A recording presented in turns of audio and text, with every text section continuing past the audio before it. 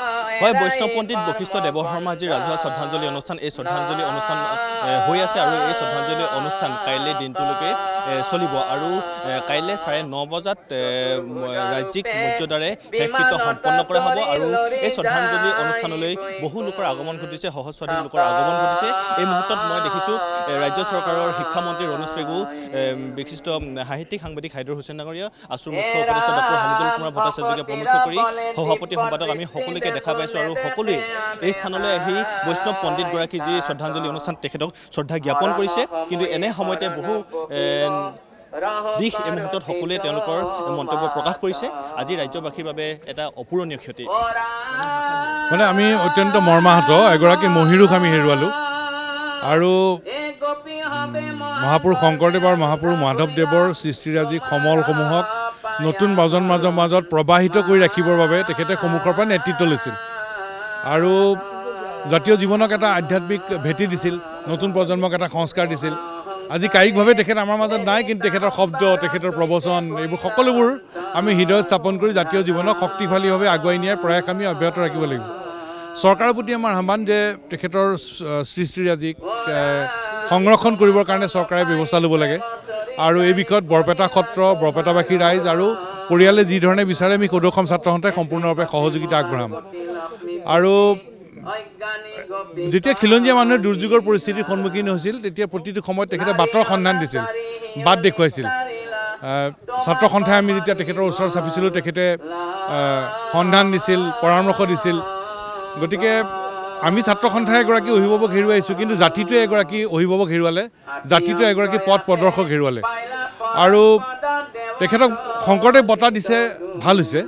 কিন্তু আমি বিচাৰোঁ যিজন মহিৰুষে জাতীয় জীৱনক এটা আধ্যাত্মিক ভেটি দিলে নতুন প্ৰজন্মক এটা সংস্কাৰ দিলে সকলোকে সম্প্ৰীতিৰে আগুৱাই নিবৰ বাবে নেতৃত্ব দিলে। তেনে এজন মহিৰুষক ৰাষ্ট্ৰীয় স্তৰত সৰ্বোচ্চ সন্মান দিয়াৰ ব্যৱস্থা চৰকাৰে মৰণোত্তৰভাৱে সৰ্বোচ্চ সন্মান দিয়াৰ ব্যৱস্থা কৰিব লাগে।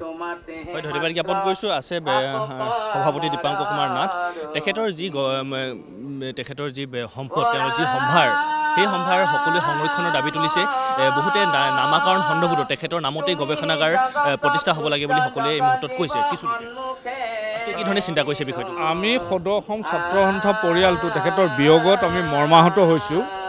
আৰু এগৰাকী কণ্ঠৰ যাদু তেখেতৰ যিটো কণ্ঠৰ যাদু তাৰ জৰিয়তে সমাজ সংস্কাৰক হিচাপে মহাপুৰুষ দুগৰাকীৰ যিসমূহ বাণী সেইসমূহ সাধাৰণ শ্ৰেণীৰ মানুহৰ মাজত সিঁচৰতি কৰিছিল আৰু সঁচা অৰ্থত সৎ ব্যক্তিত্ব গঢ়ি তুলিবৰ কাৰণে প্ৰয়োজন হোৱা আধ্যাত্মিকতাৰ যিবোৰ উপাদান সেই সকলো কথা তেখেতে নিজে তেখেতৰ কণ্ঠৰে নিগৰাইছিল আৰু যিবোৰ কথাৰ সকলো আকৃষ্ট হৈছিল আৰু যিবোৰ বাণী বা যিবোৰ কথা ধৰ্মীয় উপলব্ধি সেই সকলো কথা তেখেতৰ কণ্ঠৰে সাধাৰণ মানুহক সহজতে বুজি পোৱাকৈ প্ৰচাৰ আৰু প্ৰসাৰ কৰিছিল।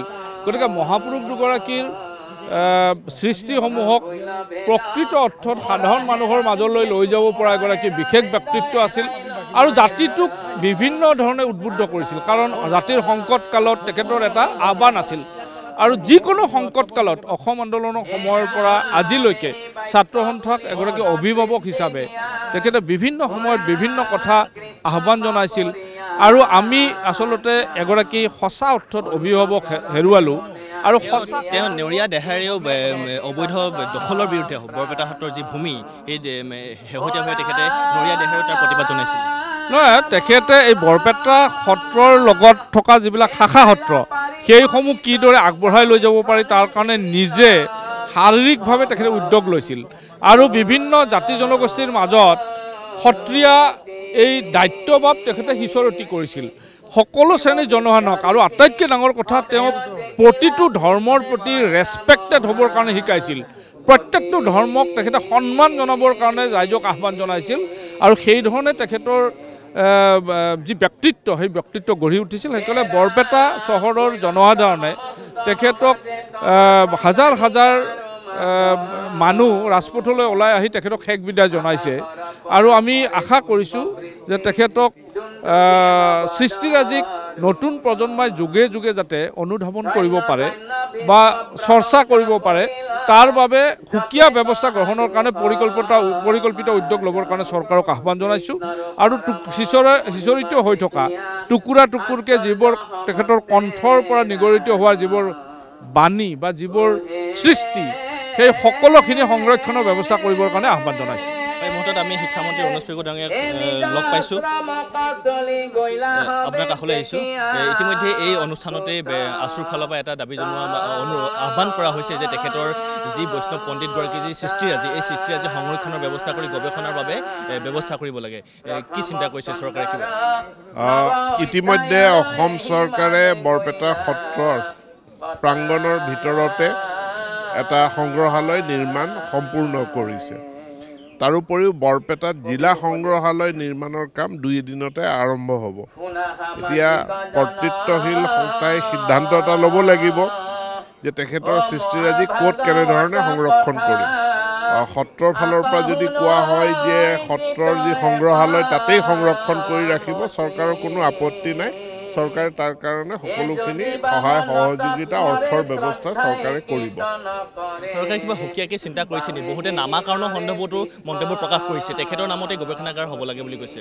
নিশ্চিতভাৱে চৰকাৰে এই মুহূৰ্তত মানে যোৱাকালি ঘটনাটো ঘটিছে আৰু আজিয়ে মই সেইটো সিদ্ধান্ত দিব নোৱাৰিম।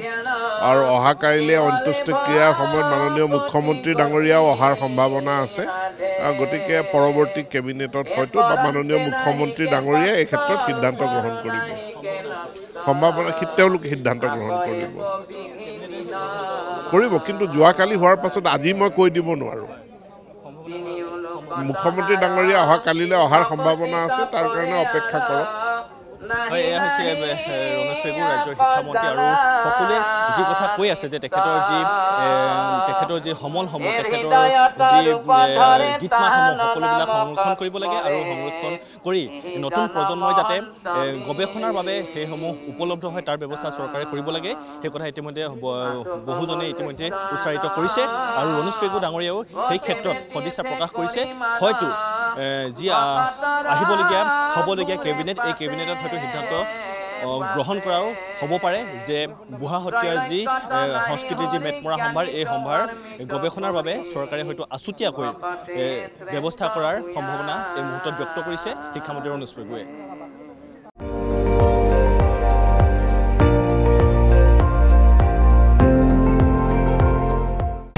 আপুনি চাই আছে এন ডি টুৱেণ্টি ফ'ৰ। সৰ্বশ্ৰেষ্ঠ নহয়। সৰ্বোত্তমৰ দৌৰ